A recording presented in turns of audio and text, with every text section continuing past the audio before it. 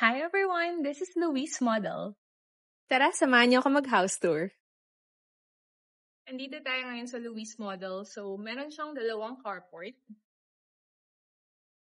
And this is a single detached model. So, yung floor area nito is 110 square meters. Tapos, napakalawak ng lot area dahil minimum of 182 square meters.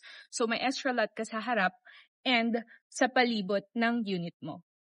Tara, pasok tayo sa loob. So, this model, may tatlo siyang bedrooms, dalawang toilet and bath. Ito yung living room with wide windows.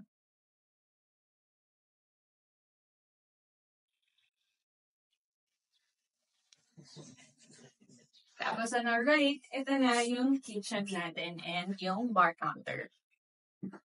Ang kagandahan dito, meron siyang service area dito sa likod. So this part here is enclosed. May extended sink. And then may access to going to the covered carport. Plus ito pa. So meron kang extra space here sa likod. So this can be your washing area. And this part here, pwede mo siyang i-enclose din.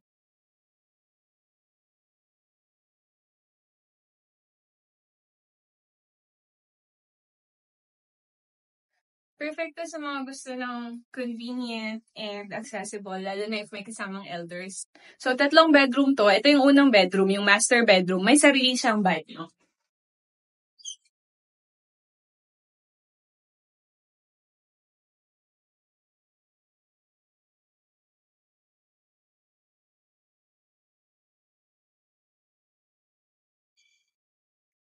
Tapos ito yung second bedroom.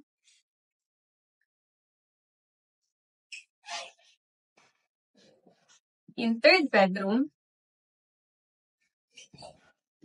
And yung common toilet. Ang total contract price nito is 5.4 million or 35,000 monthly amortization.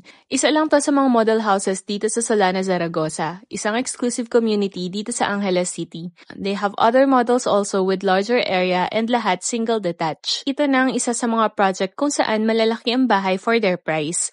Set an appointment with me and I will help you with your questions about this house. Follow me if you want to see ang ibang houses sa susunod naming house tours.